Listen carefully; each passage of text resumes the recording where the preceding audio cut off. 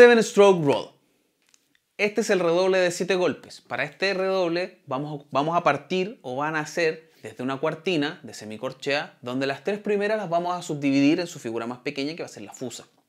Cada de esas fusas, cada de esas tres fusas las vamos a interpretar con golpes dobles. O sea, nos quedan los tres primeros golpes pasan a ser seis porque los subdividimos y el séptimo es la semicorchea normal y en la cual resolvemos. Se debería quedar así.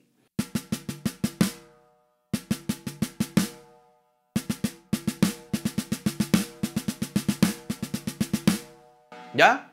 Vamos con el ejercicio a negra 60.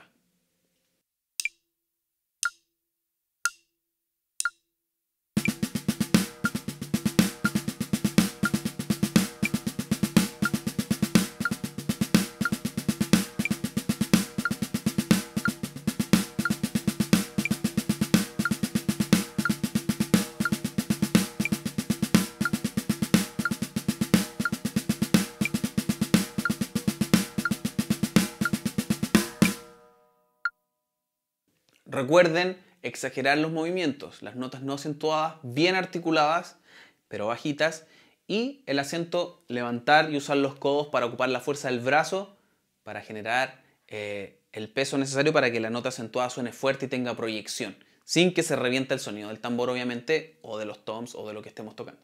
Recuerden que va a estar escrito, partan desde muy lento hasta su máxima velocidad. Nos vemos.